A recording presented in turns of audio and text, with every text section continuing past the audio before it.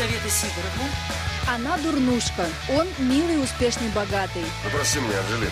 Они никогда не смогли бы быть вместе, если бы не чудесное превращение, а точнее чудесный крем. Гранулы витаминов, биопротеины, вдохновение кожи. Новую, нерожденную красивую Золушку, главную героиню сериала «Крем» играет молодая, с особым талантом к ролям ботаничек-неудачниц актриса Катя Капанова. Несмотря на свой юный возраст, актрисе всего 25, пресса и критики давно признали в ней ни много ни мало вторую Ирину Муравьеву. Это разве город? Не, не раз. Мы даже ей об этом говорили на съемочной площадке. Героини Екатерины такие же невезучие, но добрые и искренние. Это заметил даже Дима Колдун, пригласивший Катю для съемок в одном из своих видеоклипов.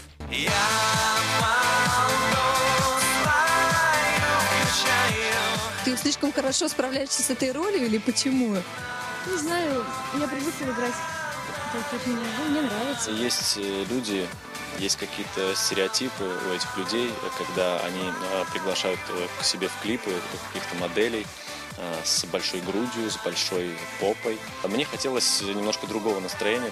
За плечами Кати внушительная фильмография. Роль, после которой девушка проснулась знаменитой, да еще и кумиром всех заедающих свое вселенское горе тоннами пирожных, нерасторопная Майя из фильма «В ожидании чуда». Там у героини Капановой то ли на фоне постоянно полного желудка, то ли на фоне вечного несчастья в любви появляется фей. Личная такая галлюцинация, которая уверяет ее, что она не такая уж и страхолюдина. В сериале «Крем» Катя по доброй традиции играет девушку с гениальным умом, но с ботанической внешностью. И все по той же традиции наша дурнушка влюбляется в красавчика, которому долгое время попадает промеж глаз. Во-первых, мне, нрав- мне не нравится играть каких-то злых таких... э, Стервозных. да, стервозных. Во-первых, мне, мне кажется, у меня это не получится, потому что мне не хочется это. Она играет э, с- ну, не саму себя, а именно вот эту вот роль э, маленькой девочки, такого заморыша, рыжая, в веснушках. Я думаю, что это временно. Э, Просто сейчас ее режиссеры видят именно в этом амплуа. В жизни Катерина не имеет ничего общего со своими героинями. И теперь в этом может убедиться каждый. Вместо толстой и некрасивой девицы на вопросы Муз-ТВ отвечает миниатюрная миловидная девушка. Как ты в фильме тогда вот так, а здесь ты такая худенькая, стройная, симпатичная. Это как? Что за чудеса преображения? Ну, Есть, конечно, один секрет. Крем. Крем. Да, базилин. Ей подкладывали вот эти вот э, вещи, которые делают визуально человека толще. Так Слушайте, она на самом деле... что на самом деле атлет. По сценарию, укутанный в поролон атлет, находящийся под вечным гнетом деспотичной бабули, решает свести счеты с жизнью, спрыгнув с моста. Прервав мирный акт суицидов, в сюжет наглым образом вторгается некий субъект в плаще и шляпе, вытаскивает Лизу за ногу из воды и, выслушав стандартный набор причитаний, вручает ей чудо-крем. На.